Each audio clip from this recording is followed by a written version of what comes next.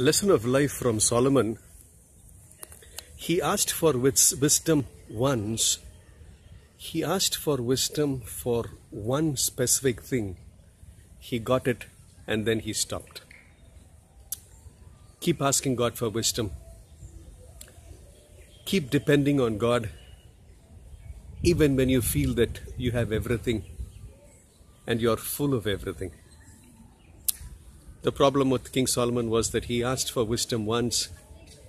Looks like never again he asked for wisdom. and that's when he failed. He got divine wisdom once and then began to live on his own carnal wisdom, which brought his own downfall and ruin. Ask God for wisdom once and keep asking God for wisdom till the end of your life. For every issue, you shall be truly wise. God bless you.